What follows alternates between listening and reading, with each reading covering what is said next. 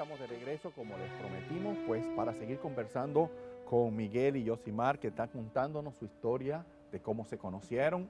A veces ustedes escuchan muchas veces que, que estos noviazgos de uno en un país, otro en otro, no funciona mucho porque eh, la distancia, ¿verdad? Tiene sus dificultades. Pero en el caso de ustedes dos funcionó. ¿Y qué recuerdas tú de esas anécdotas, de estos viajes continuos? Eh, ¿Alguna anécdota de ese momento que ustedes recuerden que pasaba entre ustedes? 2011, cuando yo fui a, ya conocer ya a Yosimar bien, cuando yo llegué a la ciudad de ella, a Cumaná, el estado Sucre, Venezuela, ella me estaba esperando en el aeropuerto con, un con dos hermanos, una hermana y un hermano. Me fueron a buscar al aeropuerto y, yo me sentía bastante nervioso. ¿Por el hermano o por...? No, por ella. Tú dijiste, ya me trajeron al hermano aquí. Y ahí sí era fuerte, ¿no? y, robusto. Dice, bueno, aquí sí que... Yo ahora en Venezuela y solo, y esta muchacha me trae al hermano. ¿no? ¿no? te asustaste mucho? Sí, estaba preocupado. Entonces, cuando llegamos a la casa de ella, que me recibieron allí, ¿no? La mamá, estaban eh, otros familiares, pues yo me sentía así un poco tenso, un poco extraño, no sabía qué decir. Y luego sí, pues me fui relajando, relajando y fuimos hablando, como ya dijo anteriormente, no es lo mismo por teléfono o por otro medio que ya personal, o sea, hablar con ella por primera vez, porque nunca había hablado con ella personal, nunca. ya. Y ya ahí fue la primera vez que ya hablé con ella de, cara a cara. Y de verdad que sí me sentí un poco tenso y preocupado. ¿Y tú, Yosimar, lo notaste que estaba nervioso? Claro, no es ¿Y que qué tú hiciste para calmarlo un poquito? Él no era el único que estaba ah, tenso. ¿Ah, claro, eso no fue fácil. Eso no fue fácil porque así como le había dicho, eh, no es lo mismo no es lo mismo cuando tú tienes la persona al frente. Es como que nos hubiésemos visto por primera vez. Claro, claro. Todo fue nuevo. Entonces, a él se le notaba muchísimo lo nervioso que estaba. Incluso yo me recuerdo que cuando llegó pidió agua y se tomó como tres vasos de agua. O sea que él estaba que no podía.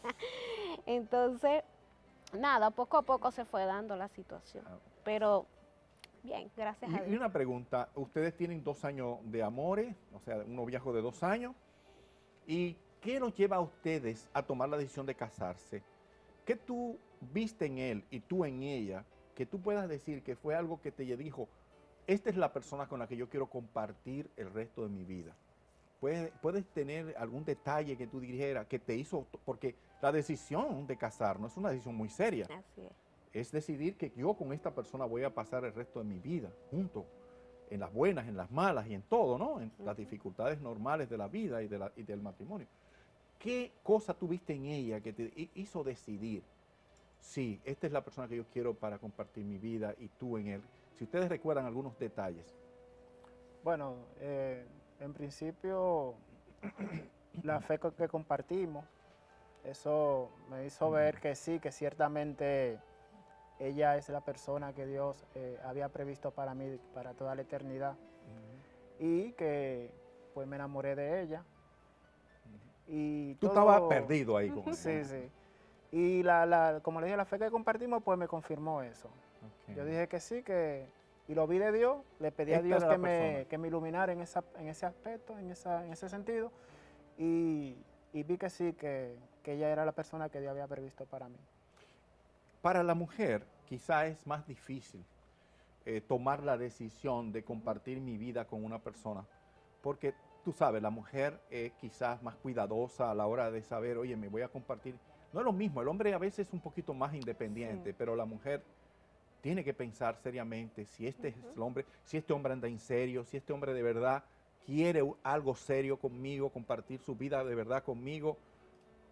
Eso ¿Qué te hizo decidir a ti que él era la persona? A pesar de tener un noviazgo bastante, ¿verdad? Eh, eh, podríamos decir un poquito extraño, porque era, había una distancia entre ustedes eh, y no se veían tan frecuentes. ¿Qué te llevó a tomar la decisión de que este era el hombre que tú necesitabas y que tú querías para compartir tu vida? Como le decía en un principio, este, todo se fue dando poco a poco, porque cuando yo lo conocí a mí me pareció bien. o sea, físicamente me, me gustó. Entonces, eh, todo se fue dando poco a poco, porque cuando comenzamos a hablar y yo lo empecé a conocer a él, yo veía su honestidad, aun cuando estábamos a larga distancia. Y lo más importante es que compartíamos la misma fe, o sea, que pensamos lo mismo, que, que, que tenemos los cimientos en lo mismo.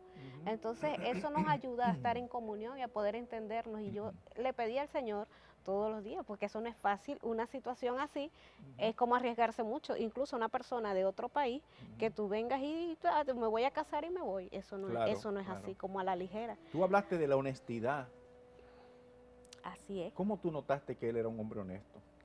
Porque cuando nosotros hablábamos, eh, todo lo que él decía era una forma de, posteriormente yo lo iba corroborando. Tú podías confirmarlo. Sí, yo lo podía confirmar. Entonces, yo es muy fácil hablar por teléfono y decir muchas cosas y, Claro. y la otra persona que está del otro lado creérsela o no. Entonces, él, él fue muy astuto también, porque él la, la iba poniendo, pero con la cabida de que yo pudiera ver si lo que él estaba diciendo era cierto o no. Bueno, eso es un detalle muy importante Ajá, porque hay, hay noviazgos que comienzan con la mentira y la mentira continúa hacia el matrimonio y Bien. la mentira es incompatible con el Así matrimonio. es. Es importante que la gente entienda eso, los que están viendo el programa. En un matrimonio no cabe la mentira. Así es. Usted podrá decir, bueno, en un mundo de mentira como el que estamos viviendo, ¿verdad? Porque esto es un mundo de mentira aquí. Claro. Aquí hay gente que de verdad está convencido que sin mentira no se puede vivir en este mundo. Entonces, en un mundo de mentira como este, ¿verdad? Donde eso se entiende ya como algo natural, muy normal, a veces necesario, el entender que dentro del matrimonio la mentira no cabe, a veces se le hace difícil a muchos matrimonios. Así es. Pero ustedes comenzaron bien, porque ustedes comenzaron con la verdad. Así es. Y fíjate, fíjate, eh, Miguel, que aunque tú no creías que estaba siendo observado en esa parte, ella sí, porque para ti era muy importante eso. Sí, claro. Tú sabías que si que, que casarse con una persona que no creyera en la verdad, en la honestidad, en esos valores tan importantes, eh, era imposible construir una verdadera es. familia con algo así. Bueno, eso es, eso es ser, tú decías eras astuto, pero tú eras muy sabia. Eh, tú sabías mucho sobre todo qué es lo que más te convenía hacer, ¿no? Sí. Y sobre todo por tú tener tus propios valores, también sabía pues tener en cuenta este valor. Porque a veces es. lo que pasa es que si nosotros no, son, no, no- no creemos en los valores, pues no los vamos a buscar. Entonces hay una persona que no tenga valor, no le importa si, si el otro miente o no miente, porque el valor, los valores y los principios elementales, esenciales para una buena relación no están ahí. Pero ustedes subieron. Entonces decidieron casarse. Así es. Eh, ¿Se casaron en Venezuela o se casaron aquí? Nos casamos en Venezuela. En Venezuela. Así Tu fue. familia me imagino que tuvo que coger para allá también, ¿no? Algunos fueron. Algunos tuvieron que ir al viaje, ¿no? Sí, sí. Y luego, pues comienzan su vida eh, de matrimonio. ¿La comenzaron allá en Venezuela? No, nosotros nos vinimos para acá. Inmediatamente se casaron. se Lo- vinieron a eh, pasamos una aquí semana y, y nos vinimos Y vinieron para a establecerse. Ajá. aquí. Bueno, una vez que ustedes comienzan ya su vida de matrimonio, ¿no? Ya comenzamos, ya estamos aquí cerca, ya no estamos hablando por teléfono, ya no, no hay distancia, estamos aquí, nos estamos viendo todos los días, nos levantamos por la mañana, ¿verdad? Nos encontramos, Así es. tal como nos despertamos. ¿verdad? ¿Qué ustedes entienden que fue la- las primeras dificultades de ustedes como persona que tú notaste en él y tú en ella, que comenzaron a crear algún roce entre ustedes o alguna dificultad que ustedes recuerden? Ay, yo. Bueno, como yo le decía, el, el principio era que él tenía que salir a trabajar y yo me quedaba en la casa porque no, mm, Claro. no conozco a, nadie, o sea, sí conozco a los de la comunidad, pero no tenía así como que conocía mucho. Cada vez que yo venía, eh, salíamos, eh, pero así, sola, no sabía. Entonces yo me tenía que quedar en la casa y fue muy difícil eh, quedarse todo el día en la casa, no hablar con nadie, nada más cuando él iba a almorzar y era que, que entra- entablábamos la conversación. Gracias a Dios que ya existían los mensajes de, de WhatsApp y esas cosas y bueno, yo me comunicaba con mi familia así.